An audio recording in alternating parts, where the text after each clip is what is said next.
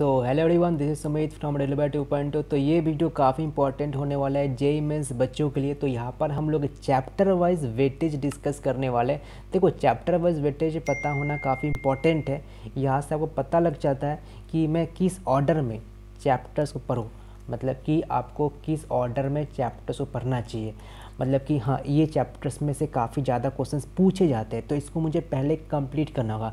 तो इस वीडियो देखने के बाद आपको एक प्रॉपर फ्लो चार्ट में बता दूँगा कि देखिए ये फ्लो चार्ट फॉलो कीजिए एंड इस फ्लो चार्ट को फॉलो करते हो तो अगर आपको का प्रिपरेशन बढ़िया नहीं भी है देन आप एक अच्छा खासा मार्क्स तो स्कोर कर ही लोगे फ़र्स्ट अटेम्प्ट में।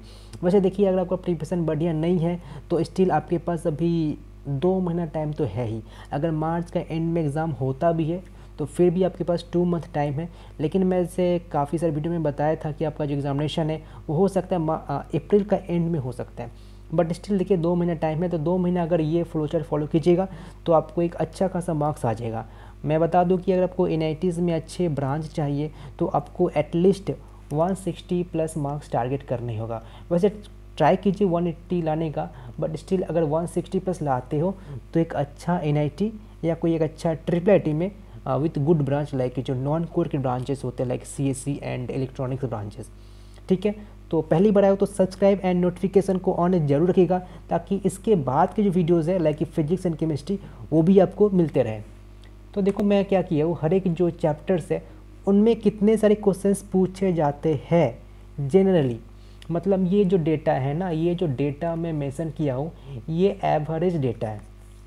ये है average weightage for last three years मतलब कि इस पर्टिकुलर चैप्टर से इतने क्वेश्चन पूछे जाते हैं मतलब। ये जनरल बात करो, ऐसा नहीं कि लास्ट का डेटा है मतलब पूछे जाते हैं अगर लास्ट थ्री इयर्स का अगर पेपर चेकआउट करोगे तो हर एक शिफ्ट का, ठीक है? तो उसके बेस पर ये डेटा को अरेंज किया गया है। तो देख सकते कोऑर्डिनेट जियोमेट्री यानी कि आपका जो सर्किल हो गया पैराबल हो गया एलिप्स हो गया हाइपरबोला हो गया तो इनमें से काफ़ी क्वेश्चंस पूछे जाते हैं। मतलब कन्फर्म है कि पैराबोला से क्वेश्चन आएगा सर्कल से क्वेश्चन आएगा हाइपरबोला से क्वेश्चन आएगा तो कन्फर्म होता है। तो इस जो टॉपिक है, ये जो चैप्टर है, इससे आपको मतलब काफ़ी बड़े से पढ़ना चाहिए। ट्राई करो कि पहले इसको मतलब ख़त्म कर दें। यहाँ से तो आपको कम से कम 10 मार्क्स तो मिल ही जाएगा अगर आप सिर्फ़ प्रीवियस ईयर क्वेश्चंस करते हो तो। तो मेक श्योर पहले आपको कोऑर्डिनेट जियोमेट्री का जो पोर्शन है ना, उसको कंप्लीट करना है। एंड ये क्लास एलेवन का ईजिएस्ट मतलब चैप्टर्स माना जाता है, ठीक है? मतलब एकदम से इजी नहीं बोलूँगा, लेकिन हाँ एक के आप अगर इनपुट दोगे तो आपको एक अच्छा खासा आउटपुट मिलता है, ठीक है?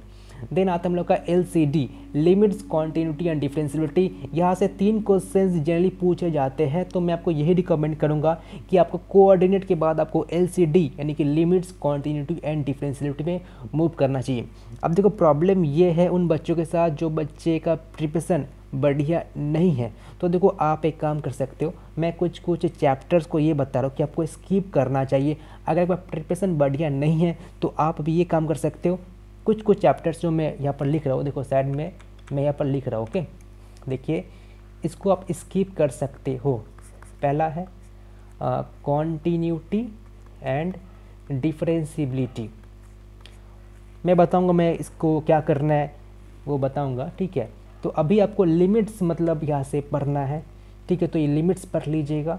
देन आता है इंटीग्रल कैलकुलस अब देखो इंटीग्रल कैलकुलस में सबसे ज़्यादा क्वेश्चन डेफिनाइट इंटीग्रेशन से पूछे जाते हैं। तो मेक्स यो जो डेफिनेट का जो हर एक मतलब जो क्वेश्चन है जो टॉपिक है, जो प्रीवियस क्वेश्चन है, हर एक को मतलब सॉल्व करो। काफ़ी क्वेश्चन पूछे जाते हैं डेफिनेट से। तो बच्चे मतलब जनरली टाइम स्पेंड करते हैं इन डिफिनेट में। तो मेक श्योर आप मैक्सिमम टाइम डेफिनेट इंटीग्रेशन में स्पेंड कीजिएगा। तो देखो, यहाँ से आप चाहो तो अगर आपका प्रिपरेशन बढ़िया नहीं है तो आप इन डिफिनेट को स्कीप कर सकते हो। क्या करना होगा इनको मैं बताऊँगा। ठीक है? तो इनडेफिनाइट इंटीग्रेशन को आप स्किप कर सकते हो। इसके बाद आता है हम लोग का A O D application of derivative application derivative में लाइक टेंजेंट एंड नॉर्मल हो गया मैक्सिमा मिनिमा हो गया इंक्रीजिंग डिक्रीजिंग हो गया तो जितने भी ये चैप्टर्स है ए ओ डी के अंदर जो आते हैं, हर एक में से मतलब क्वेश्चंस काफ़ी आते हैं। तो मेक श्योर डेफिनेट के बाद आपको ए ओ डी को टच करना है। देखो ये डेफिनेट हो गया ए हो गया ये ट्वेल्थ की पोर्सन है। तो होपफुली आपका ये इसका प्रिपरेशन बढ़िया हुआ होगा। स्टिल अगर बढ़िया नहीं है तो आप मतलब कोशिश कीजिए कि इसको जल्दी से जल्दी कंप्लीट करने का। अब देखिए इसके बाद में आता है हम लोग का ट्रिग्नोमेट्री अब ट्रिग्नोमेट्री काफ़ी एक वास्ट मतलब चैप्टर है। यहाँ पर मतलब काफ़ी क्वेश्चंस पूछे जा सकते हैं यहाँ से। तो किस ऑर्डर में पढ़ना चाहिए? तो देखो, आपको पहले इन्वर्स ट्रिग्नोमेट्री कर लेना चाहिए। इन्वर्स ट्रिग्नोमेट्री इसके बाद आपको हाइट एंड डिस्टेंस कर लेना चाहिए। देखो inverse and height and distance को कंप्लीट करने के लिए मैक्सिमम तीन से चार दिन ही लगेगा। उसके बाद वो कंप्लीट हो जाएगा, ठीक है? एंड इसके बाद आप जो सॉल्यूशन वाला जो चैप्टर है, जहाँ पर आपको मतलब एक्स हो गया ना, उसका सॉल्यूशन निकालने के लिए बुलाया जाता है लाइक थीटा हो गया। उसका सॉल्यूशन निकालने के लिए बुलाया जाता है तो अब वो सारे क्वेश्चन कर सकते हो। अगर प्रीवियस ईयर क्वेश्चन भी करते हो ना तो यहाँ से आप अच्छा खासा स्कोर कर सकते हो। ट्रिग्नो से तो काफ़ी सारे बच्चे मतलब ट्रिग्नो में टाइम स्पेंड करते हैं। तो देखो ट्रिग्नो में तो टाइम स्पेंड आपको करना ही पड़ेगा क्योंकि कुछ कन्फर्म नहीं कि क्वेश्चन कैसे पूछा जाएगा। तो अगर आपके पास टाइम नहीं है तो आप एटलीस्ट प्रीवियस ईयर क्वेश्चन कर लीजिए ठीक है? तो ये हो गया। इसके बाद क्या आता है? Complex number and quadratic equation अब देखो, ये जो दोनों चैप्टर है ना कॉम्प्लेक्स एंड क्वाड्रेटिक यहाँ से क्वेश्चंस कुछ ऐसे पूछे जाते हैं, जहाँ पर दोनों चैप्टर के कॉन्सेप्ट अप्लाई करना पड़ता है। लाइक आपको इक्वेशन क्वाड्रेटिक ही रहेगा, लेकिन हो सकता है कॉन्सेप्ट जो है वो कॉम्प्लेक्स नंबर का अप्लाई करना पड़ता है। तो जनरली यहाँ से दो क्वेश्चन पूछे जाते हैं तो होपफुली यहाँ से एक क्वेश्चन तो आप कर ही लोगे, अगर आप सिर्फ़ और सिर्फ़ प्रीवियस ईयर क्वेश्चन करोगे तो। ठीक है? बाकी बात करते हैं मैट्रिसेस एंड डिटर्मिनेंट तो खैर वो अगर बोर्ड का ही पढ़ाई कर रहे हो फिर भी ये हो जाता है तो अलग से मतलब कोई टेक्स्ट बुक फॉलो करने का कोई नीट नहीं है। मैट्रिसेस डिटर्मिन के लिए आप कोई बोर्ड का बुक फॉलो कर लीजिए मतलब एंड प्रीवियस ईयर क्वेश्चन कर लो जेई मेंस का। देन आता है स्टैट एंड प्रोबेबिलिटी तो आप ये चाहो तो स्किप कर सकते हो, ठीक है? तो मैं यहाँ पर नोट कर देता हूँ।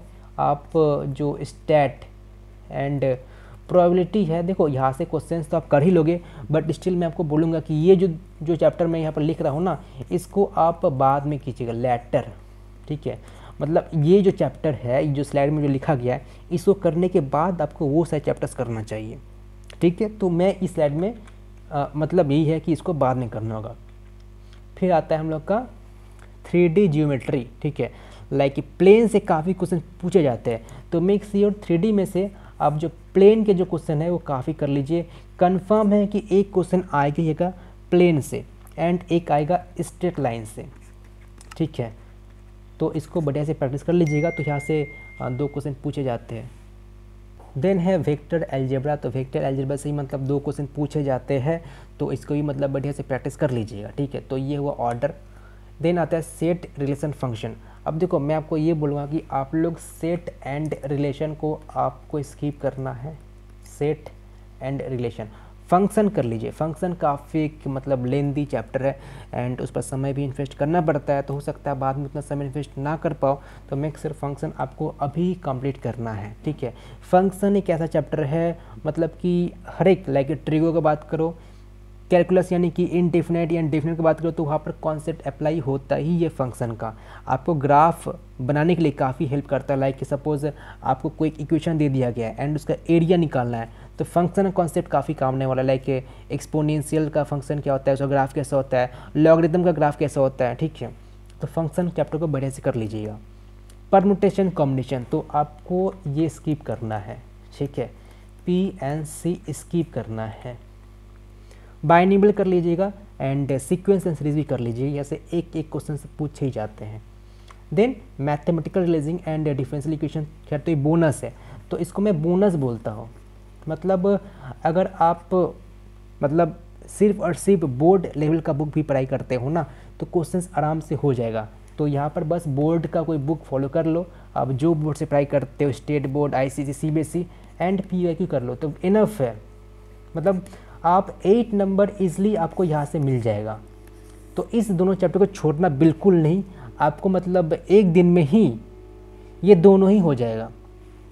अब ये सारे कंप्लीट करने के बाद आप जो चैप्टर यहाँ पर स्किप कर रहे हो ना, इसको कंप्लीट करने का मतलब कोशिश कीजिए, ठीक है? तो ये है आपका परफेक्ट ऑर्डर कि आपको पहले ये करना है ये करना है देन ये करना है देन ये करना है एंड देन ये करना है एंड देन जो आप चैप्टर स्किप किए हो मतलब मैं जो बताया था कि आपको स्किप करना चाहिए देन आप इसको कर सकते हो।